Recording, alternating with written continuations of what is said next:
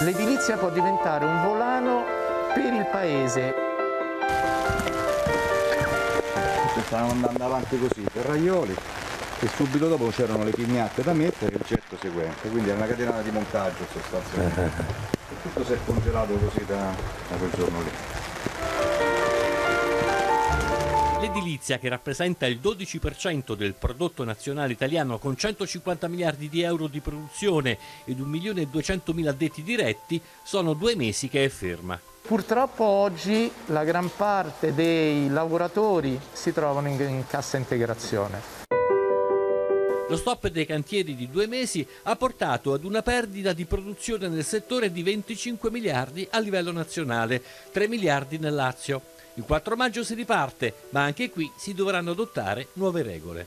Queste chiaramente vanno da dei mezzi di protezione, mascherine, guanti, a delle una serie di iniziative per evitare i contatti tra le persone. La verifica della temperatura corporea all'ingresso e all'uscita, sono tutta una serie di procedure di controllo. Faccio un esempio, anche l'ingresso in cantiere potrebbe essere scaglionato. È chiaro che un minimo di allungamento e ai noi qualche maggiore costo anche non indifferente ci potrà essere.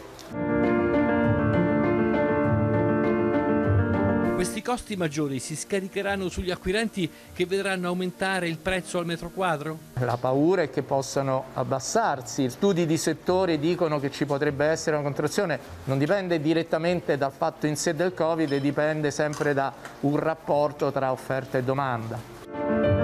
Dunque tutto pronto per la partenza, anche se sull'uso delle mascherine ancora c'è qualche incertezza. Sembrerebbe, sembrerebbe che se si lavora a distanze molto ravvicinate servono le famose mascherine marcate FFP2, mentre in altre situazioni più distanziate bastano le mascherine chirurgiche. Non è facilissimo trovarle, soprattutto quelle marcate, ma qui appunto attendiamo disposizioni più precise.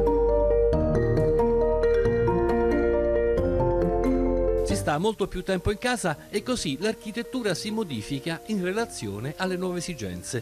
Per esempio lavorare in smart working in un ambiente confortevole. Immagini quello che sta succedendo in tante parti dell'architettura con eh, gli elementi esterni di verde come facciate, ma sta migliorando e deve migliorare ancora di più il rapporto tra interno ed esterno, quindi il rapporto tra l'ambiente del soggiorno e i terrazzi, i giardini, i balconi. Mangiare su un terrazzo, avere un terrazzo abitabile non è necessariamente più un lusso.